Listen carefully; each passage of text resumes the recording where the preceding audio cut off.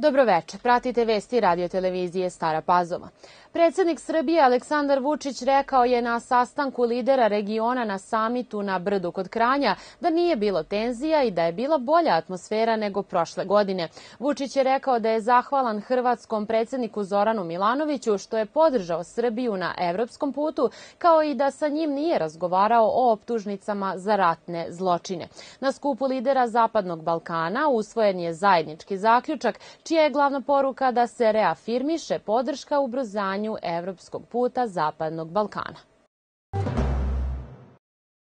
Ministarka rudarstva i energetike Zorana Mihajlović izjavila je da neće biti novih poskupljenja struje niti restrikcija. Efekat uštede domaćinstava će, kako je istakla, biti vidljiv kada stupe na snagu stimulativne mere za štednju struje. Mihajlovićeva je potvrdila i da je Srbija obezbedila zamenu za rusku naftu koju od 1. novembra neće moći da uvozi zbog šestog paketa sankcija Evropske unije prema Rusiji.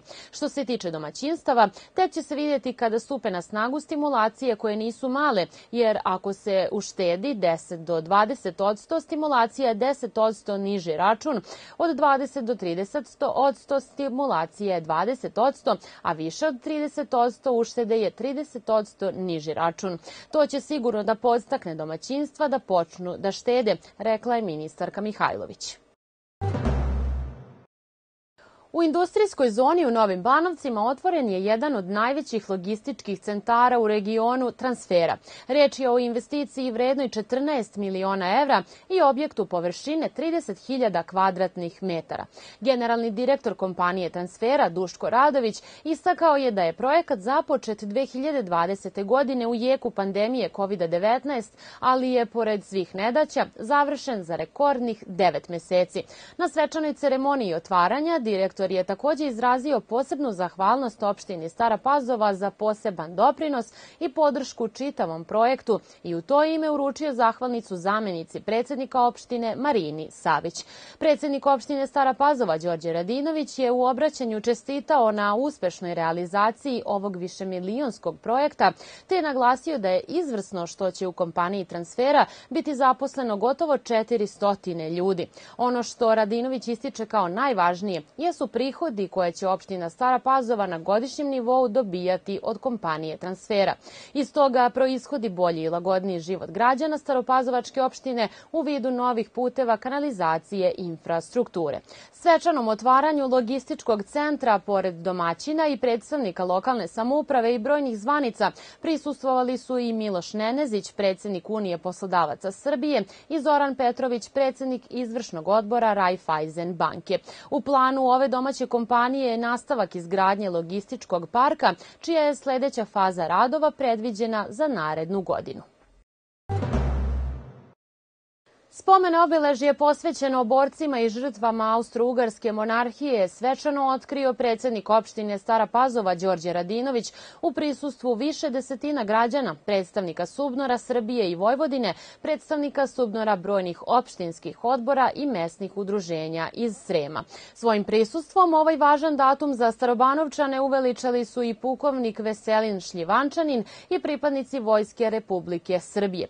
Tokom prepodneva Subnor Podunav slavlje sa poštovaocima žrtve srpskih boraca u Belegišu je obeležio i formiranje Podunavskog partizanskog odreda kraj spomenika u centru sela. Krajem septembra predstavnici Subnara otkriće i spomenik borcima u Surduku koji su živote položili u drugom svetskom ratu.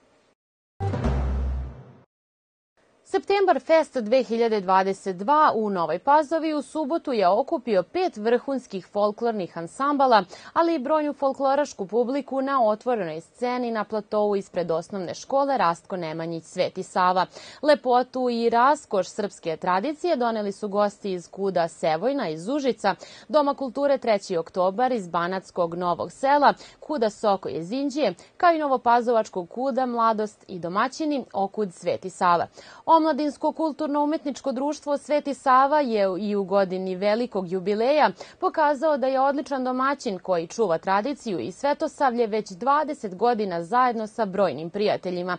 Treći festival folklora Septembar Fest 2022 organizovan je pod pokroviteljstvom opštine Stara Pazova. Od početka godine u saobraćajnim nesrećama u Srbiji stradale su 83 mlade osobe, što je za 40% više u odnosu na isti period prošle godine, izjavio je danas direktor Agencije za bezbednost saobraćaja Branko Stamatović. On je za Tanjug rekao da su se sve saobraćajne nesreće u kojima su stradali mladi dogodile vikendom u kasnim ili ranim jutarnjim časovima i da su automobilom upravljale mlade osobe. Istakao je da se vozači ne pridržavaju pravila ponašanja u saobraćaju i ocenio da je neophodna sistematska edukacija mladih kako bi shvatili važnost tih pravila.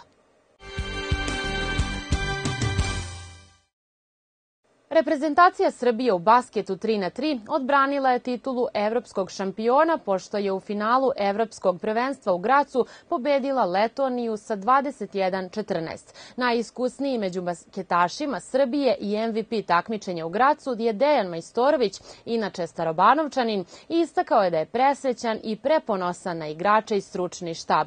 Odigrali smo sjajno. Četiri puta za redom osvojiti bilo koji turnir, a ne evropsko prvenstvo je fenomenalan fenomenalan uspeh i nastavljamo da pišemo istoriju ovog sporta. Nastavit ćemo, nadam se, u istom ritmu. Sledeće godine su opet evropsko i svetsko prvenstvo, rekao je Majstorović nakon pobede.